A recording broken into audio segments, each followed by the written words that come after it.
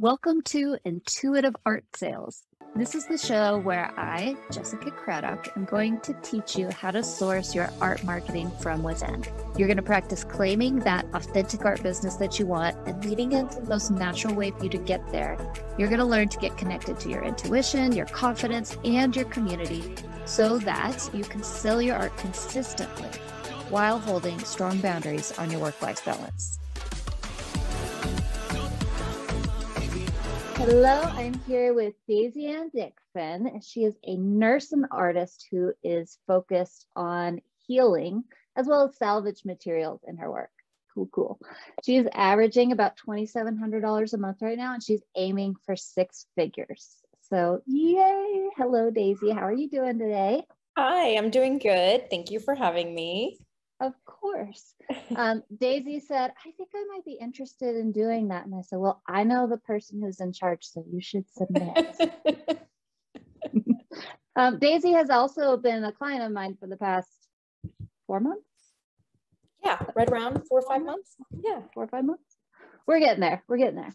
All right. So, Daisy, this is the fun question, and we're going to start with it. Imagine it's a year from now and you and I are sitting here together on Zoom and we are celebrating because you just broke the six figures mark $100,000 in 12 months or more. Let's yeah. make it bigger $120,000 in 12 months. Why not? I'm here for it. Tell me about that. How does it feel? What are you doing? What's it look like? Can you paint me a little picture? Um, feels really good. It feels like I am seeing the fruits of my labor.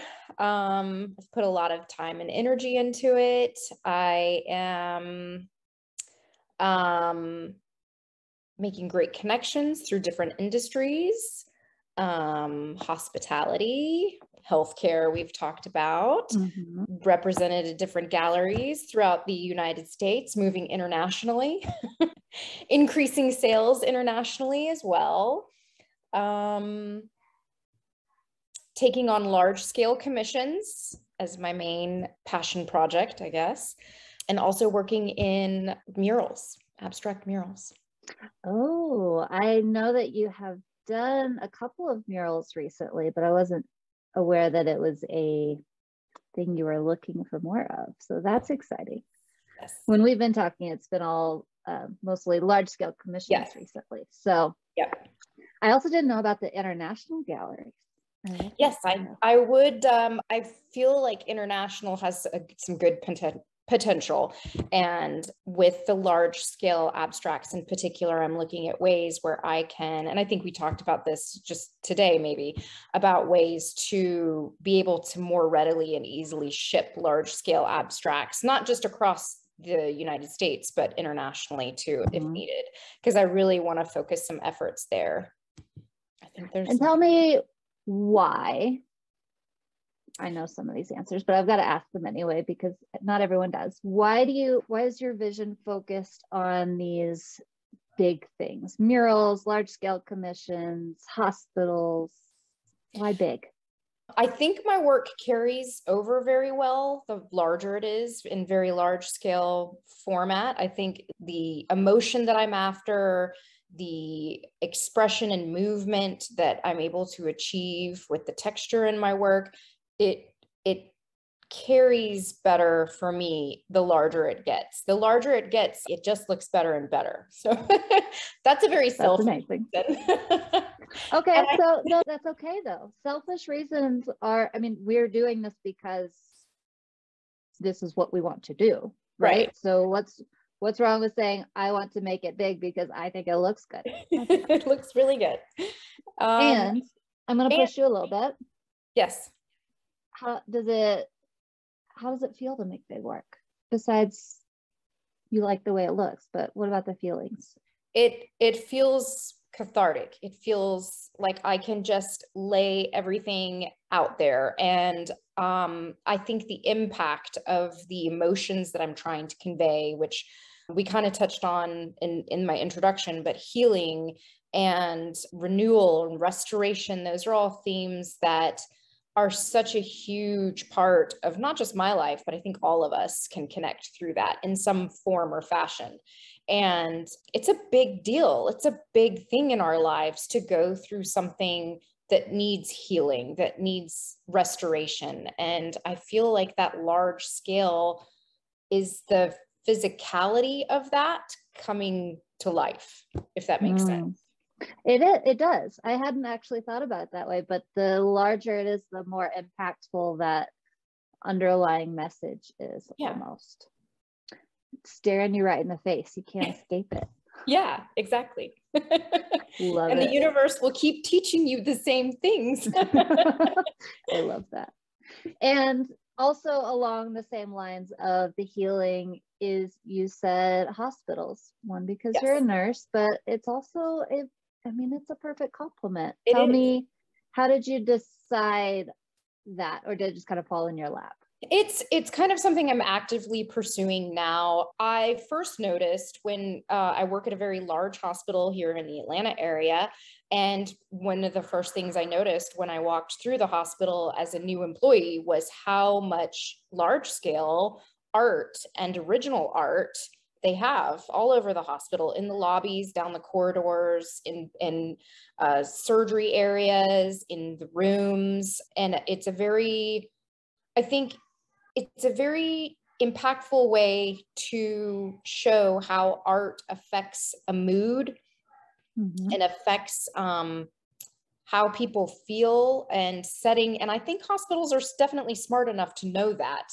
um, that creating that environment of healing and calm and security is very important for people coming there for what, whether they need to be there or they choose to be there whatever the reason is.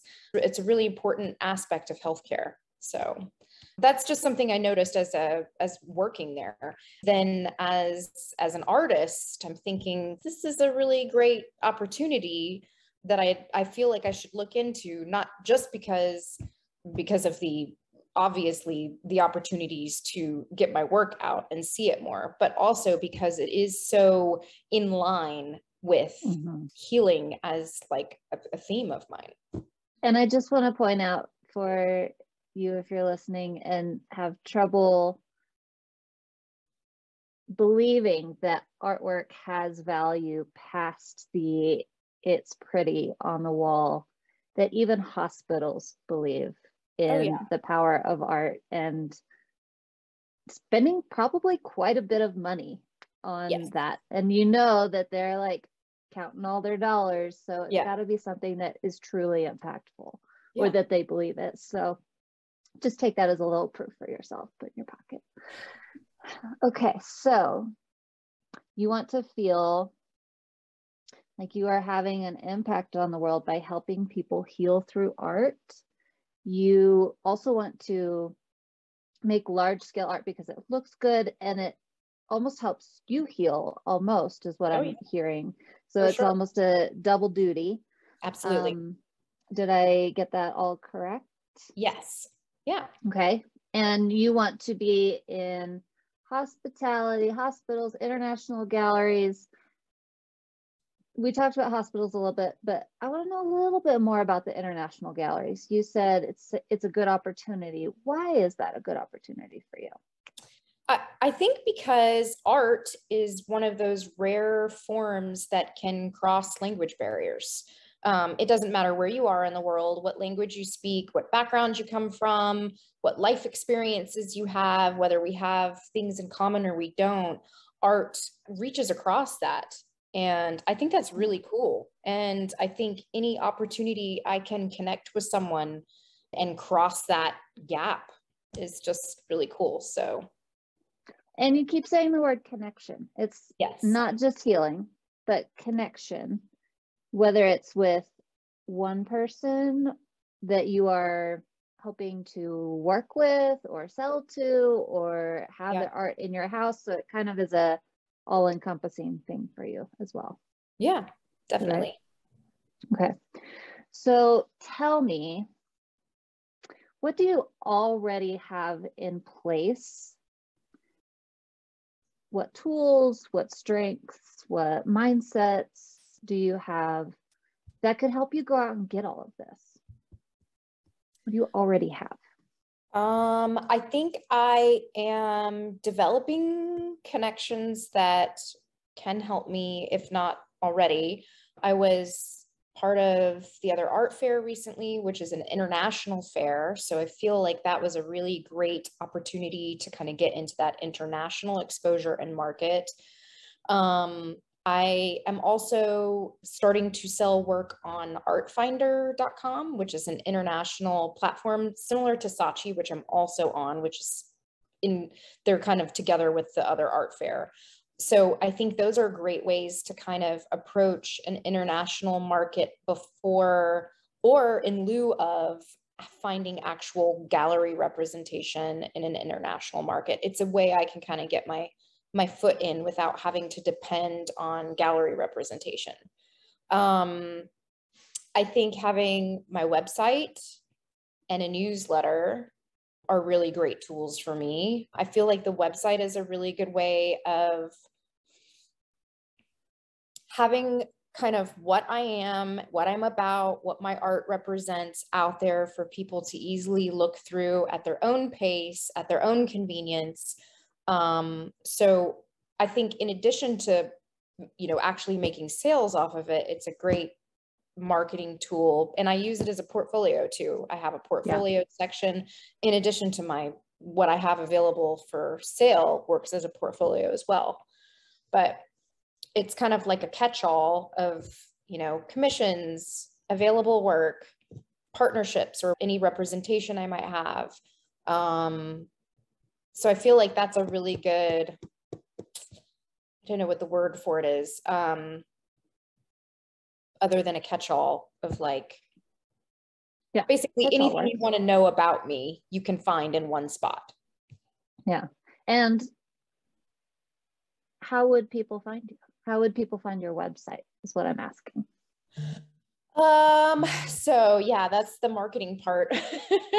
um, uh, festivals, I'm learning the value of like in-person events, festivals, and of course exhibitions, whether it's in a gallery or any type of other show.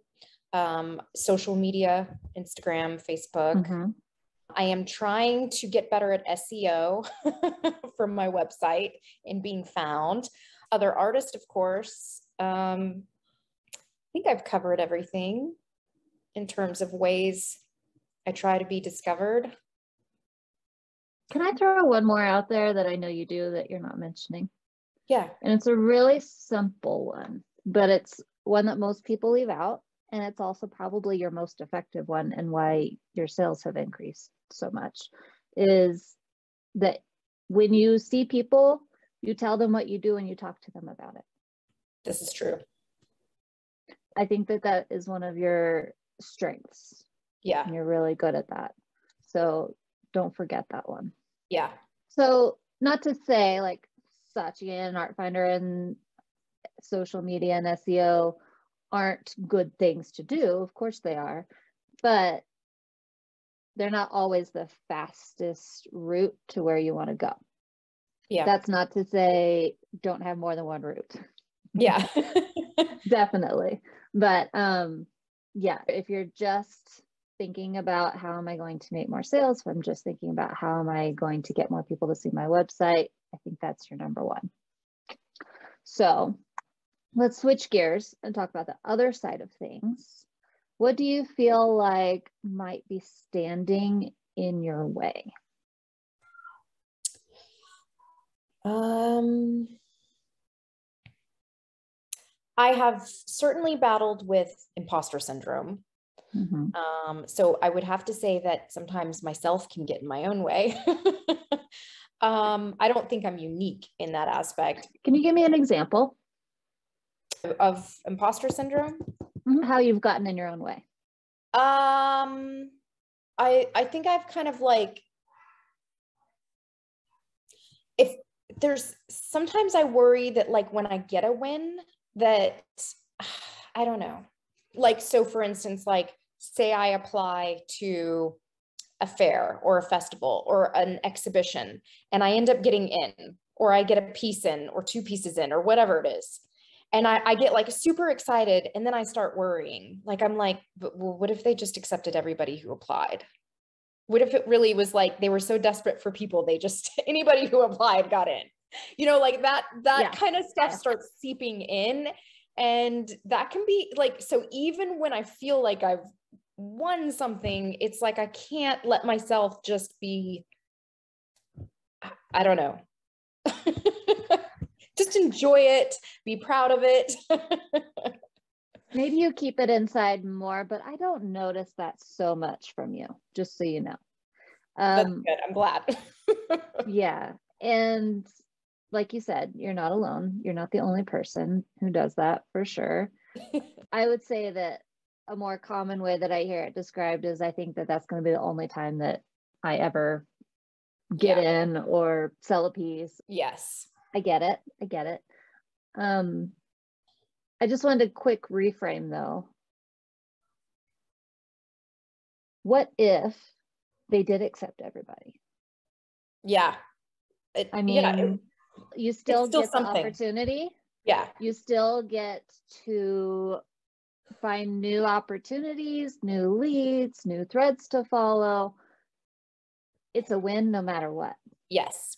And that's uh, when those thoughts start coming in, that is pretty much the end logic. It takes me a little yeah. bit to get there sometimes, yeah. but eventually I'm just like, you know what? It's it looks good on my CV. It's an exhibition, it's exposure. It's if if I make one connection, if I make one sell, if I give three business cards or whatever it is, then something will have come out of it or something I may not have even imagined will come out of it so that i mean and that and that's kind of how i've reassured myself in those moments but yeah that's just one of the most recent i guess examples that i can think of i think that happens the most yes so as related to what you want the six figures the hospitals the international galleries and that imposter syndrome how does that connect um, in terms of, let me rephrase it a little bit. Um, how does one keep you from the other? I, I think it kind of comes back to a confidence issue. If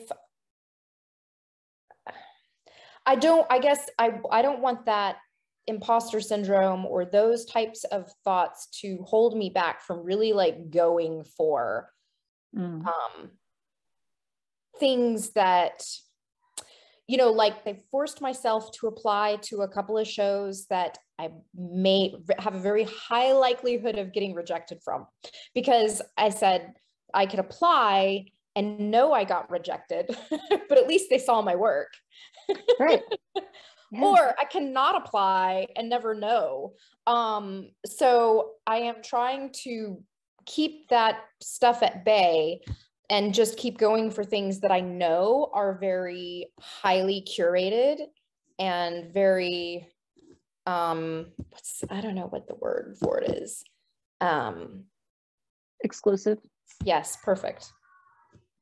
So I have a reminder that pops up on my phone every morning. It's from Alice in Wonderland, of course. And it says, believe in six impossible things before breakfast.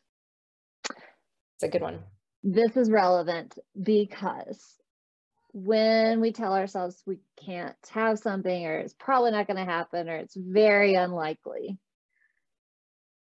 then we choose, usually, not in your case in this instance, but usually then we choose, well, then I'm not going to do it because it's probably not going to work out. I'm probably going to be disappointed and probably, probably, probably, probably, probably.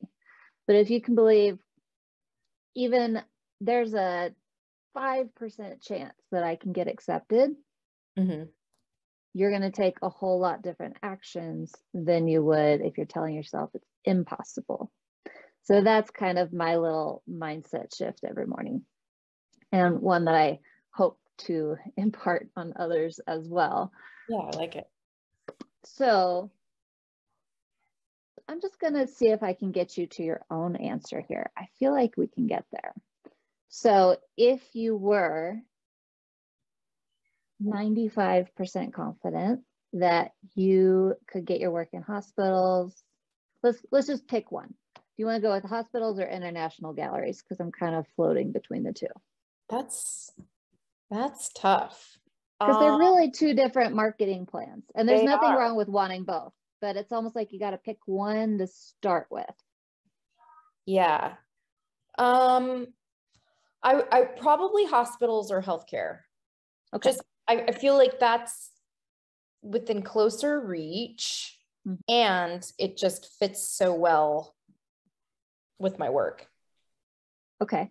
So if you were 95% confident, you could reach out to the three closest hospitals to you, including the one you work at, and you were confident that they would say yes. We would love to hire you to put a huge something in the lobby and maybe in the pediatric wing and in the I don't know, I don't know all the hospital terms, but in a couple of different wings and yeah. in the lobby. What would you do? Um, I would I would go for it. Is that what you mean? But what would you go? No, like what exactly would you go for? What are the oh, steps like, you would take? Oh, the steps I would take. I was like, what do you mean? um, the steps I would take. I I guess I would approach it similar to how I do commissions. I would find out what their vision and mission is for that space, um, mm-hmm. what it's used for, what's currently there, if anything, I feel like art should be enjoyed. So it makes a difference if the art is in an area where there's seating or, you know, or if people are passing by it, like in a corridor. And then, um, of course, like the overall mission of like, like you mentioned, is this a pediatric wing or a pediatric hospital? Because um, we do have a big children's hospital here in Atlanta um you know so is this something that's going to be interactive is it going to be very colorful and cheerful or like what's the mood um so i think i would approach it like a commission in that respect in size um budget all of those kind of like finer details mm-hmm. probably you know again like commission we would talk about a deposit and doing like mock-ups sketches of different options, sizes if they're if they're undecided on what size um, or color palette, and then they would approve um, a mock-up or sketch from that point, and um, then execute the work. Uh, get it approved. I'm going to stop you oh, for a second. Okay, I was like, I don't know how far I need to go. No, it's okay. It's okay. okay. You're doing great. You're doing great. Let's take a couple steps back though, because you okay. don't currently have someone to have this conversation with. What do you do to find the person or introduce yourself? Like what, what's yeah. a couple steps back from that? Um, to find the person that I need to have this conversation with. Um, I would probably try to start with people at my own hospital and people like in my chain of command mm-hmm. to identify the people who are kind of in charge of these ideas and things. um, and then I don't know the legality of like my own hospital since I'm an employee. I actually had this conversation with someone else um, if that was like a conflict of interest. But either way, once I identified the people that I needed to be talking to at my own hospital, I would then try to connect to the other hospitals, especially where I am. I'm around three major Atlanta hospitals. We're all kind of together. And so I have a feeling that the people who I need to talk to at my hospital probably know the people who I would need to talk to at, oh, yeah. at the other hospitals too. So how do you I'm just I'm asking a lot of questions because I I think I can get you to all the answers you need if I just keep saying and and and. So you are going to talk to the people in your chain of command to figure out who those people are. Yes. And then what? Um, try to. This is the part that most people would stop at, which is why I want you to say it. I would try to set up um, either reach out to them to set up a meeting or a conversation or ask more about their process. Like, do they do this on a once a year basis? Do they only do it when they're looking at building new areas of the hospital or renovation plans? Or do they hire out? Um, maybe they hire out a curator from another company or a gallery um, in the Atlanta area that does all this legwork for them. Can I give you one in between step that's going to make it more effective? Yes.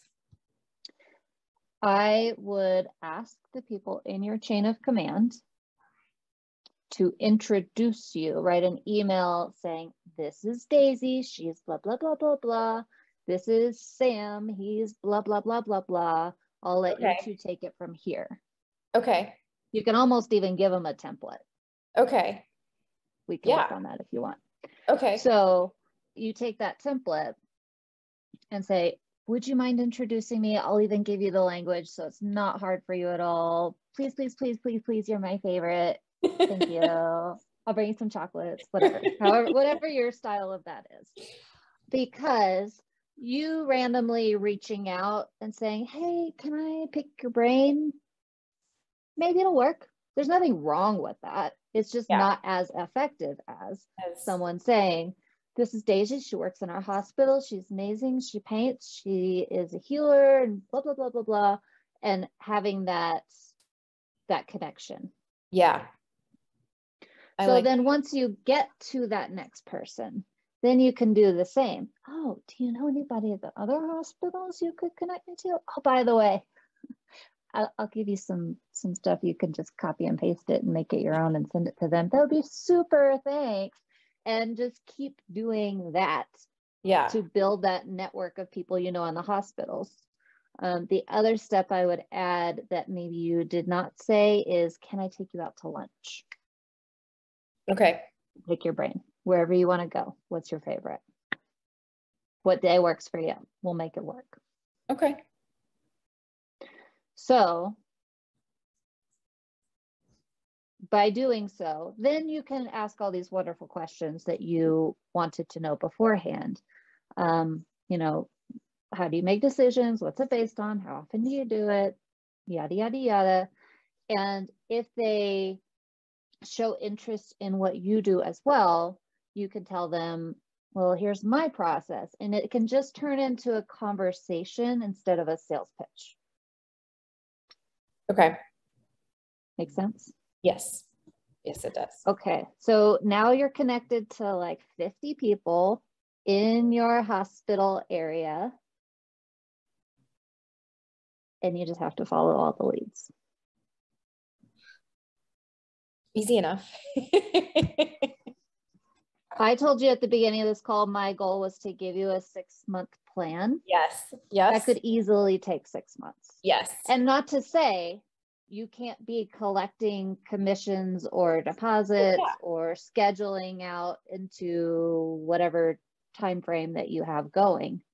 But um, you could even, if the hospitals are not immediate yeses or we do it every five years, you know, that kind of thing. Do you know any pediatricians? Do you know any family practitioners? Do you know any? And just keep yes. going until you have a full six months of commissions booked out. Then yes. when you get to your three month mark, go do a little bit more networking, book out some more. Yeah. So that way you are always ahead of the game. You always have that consistent income. You if you are good at taking notes, you've always got more people to connect to. If you're good at asking, you've always got more people to connect to. It's basically a never ending pot because Atlanta leads to the next state, leads to the next state, leads to the next state. That could keep you busy forever. Yeah. And then when you get tired of that, then you can say, Hey, international galleries, I'm in every hospital in America. Do you want me? I like it. I like this. Yeah, I like it too. I like it for you. I expect you to have five connections in the next month. five people that have introduced you to someone. Okay. Is that a good goal? In a month? Yeah. Six weeks? Yeah. Can it be can it be hospitality too? It can be whatever you want it to be. Okay. We're making the rules. It's your business. Okay. And and I say that because because I have one in the works for hospitality. So I feel like that's okay. Well, we'll count that one. And I would say, unless that just starts leading places, choose one to focus on because I think you'll get more momentum that way. Yeah, I think you're right. Yeah. And it could even be you try one for three months and you learn the things you like and you learn the things you don't and you want to you want to shift to the other yeah, one. That makes sense. Or I'm so in love with this one and like, oh my God, I have so much work. I'm just going to keep going. And that's a good one for five years down the road when I need something else to do. Yeah. Okay. I like it. I love it. See, look at you. You came up with all the answers on your own. love it when that happens. Okay, so Daisy, tell me what your next three action steps are. See, you're even going to give yourself homework. I am going to identify people in my chain of command to identify other people to connect with um, in terms of people I need to be having conversations with. So that's steps one, two, and three? Uh, it's okay if it is.